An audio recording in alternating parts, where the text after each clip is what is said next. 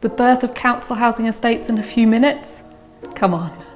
In the 19th century, during the Industrial Revolution, there was a mass migration of people from rural areas to cities. And this occurred without any planning or housing provision. As a result, people lived in slums and there were uh, big public health issues arising. When you have a concentrated population in cities, you need uh, good housing and you need uh, the infrastructure to support life. And unfortunately, this resulted really in cities being characterised by poorly serviced slums. People were living in cramped, dark, unsafe, unsanitary conditions that led to the spread of many infectious diseases such as cholera. What was the Addison Act? Christopher Addison was the first Minister of Health and Housing. He was responsible for the passage of the 1919 Housing and Town Planning Act, which is often known as the, the Addison Act. The importance of the Addison Act lies in three elements. Firstly, uh, the generous financial support that was offered to, to build council housing. Secondly, the uh, commitment to high standards of council housing.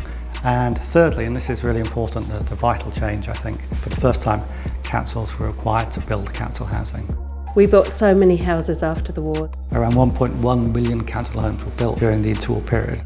It provided that decent, secure, affordable housing uh, across the country that we needed. Despite difficult post-war times, council housing was still successfully delivered.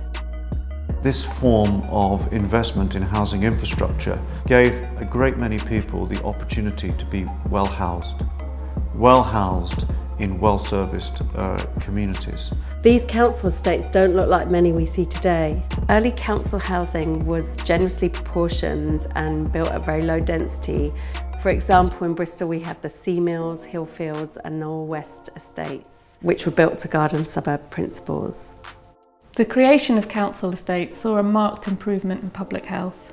Over time, this increased life expectancy. Better sanitation conditions helped to phase out disease. And at the family level, families became smaller, which meant that their resources were less stretched.